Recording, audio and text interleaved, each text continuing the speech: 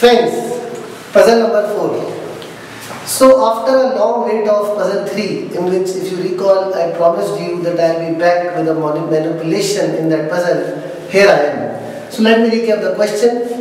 There are 10 bags, each bag has 1000 balls.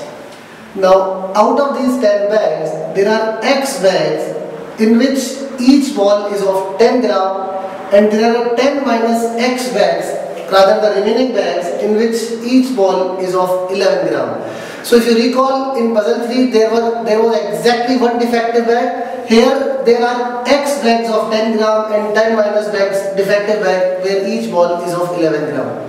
The question is again you have an electronic digital weighing balance in exactly one reading. You are supposed to tell me which all bags are of 10 gram label, label and of 11 gram. You need to tell me the number of 10 gram bags as well as which ones. That's the question of puzzle number 4. Okay, let's look at the solution which I am sure most of you uh, must have tried to work out. Now here also what we'll do is we will first number the bags so these are bags, let's say bag number 1, 2, 3, 8, 9, 10. These are bags. I have numbered the bags.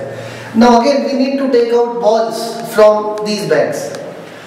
Now the idea is the last solution, if I take one ball from bag number 1, two balls from bag number 2, three balls from bag number 3 and so on, it will not work here. Why? Because let's say if I take in that order and the remaining, the difference between the reading of 550 gram is let's say 6 gram if I get a reading of 556 gram this time, I will not be sure whether bag number 6 is the defective from where 6 balls have come or it can be bag 1 plus bag 5, bag 2 plus bag 4 and so on. So because this time it's a combination, there are many defective bags this time, not the exactly one as in the case of last puzzle. So that solution won't work here. Some of my students in my batch, for I am, uh, you know, I prepare for CAT as I told you, some of the students suggested that we should take out one ball each from, uh, one ball each from each bag. Now if I take one ball each, one ball from here, one ball from here, one ball from here, one ball from here, the total I have taken out is 10 balls. So what their contention is, if we put on the electronic balance and if we see at the reading, let's say the reading is 104 gram. So we are sure that there are exactly 4 bags which are of 11 gram and the remaining 6 are of 10 gram. Now this is right. But then you will not be able to tell me which ones are those 4 bags of 11 gram label. Which ones? Is it 1, 2, 3, 4, 1, 2, 7, 8, 3, 4, 9, 10 and so on. So that funda won't also work here. So here, my dear friends, what we need to do is we need to take out the balls in such a manner that the combination of adding them, you know, any two of them, any three of them, any four of them should all result in unique combinations. By that unique combination, we should be able to go backwards and find out from which bags did we take that balls from. And this is the property of GP, geometric progression. So what we'll do is, we will take out one ball from bag number 1, 2 from bag number 2, 4 from bag number 3, the powers of 2. Then 8, 16 and so on. So this is, um, you know, 2 raised to 9, 512. This is 256 and this is 128. So all these are powers of 2. So if we add all of these balls, you know, actually in a sense we have taken out 1023 balls. It's a property of powers of 2. If we add all the powers of 2, we get 1 less than the next power. So the, here the next power is 1024, 1 less is 1023. Okay, now what we do is, we put these 1023 balls in the pen. This is my pen and this is the reading. If all the balls are of 10 gram, the reading which I should get is 10230. If all the balls are of 10 gram.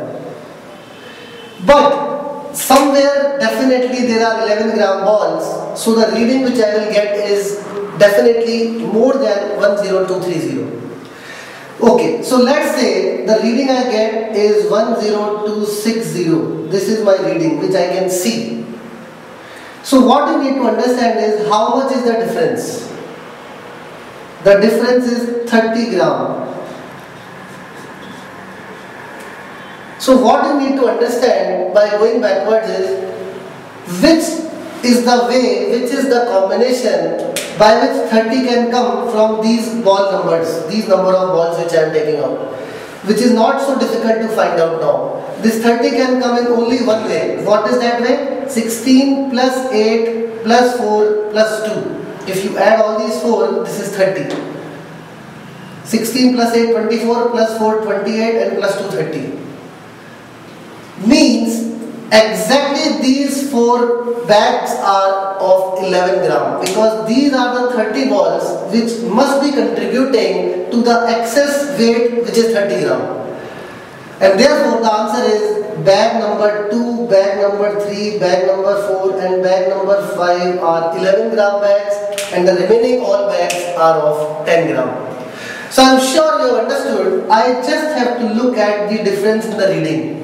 And whatever that difference is, I need to go back, I need to find out how can that difference be generated from these balls. And there is exactly one unique combination for that. That combination are all bag numbers which are of 11 gram level and the remaining are of 10 gram level.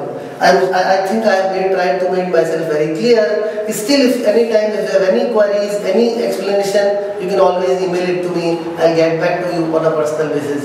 Uh, puzzle number 4. Thank you so much friends.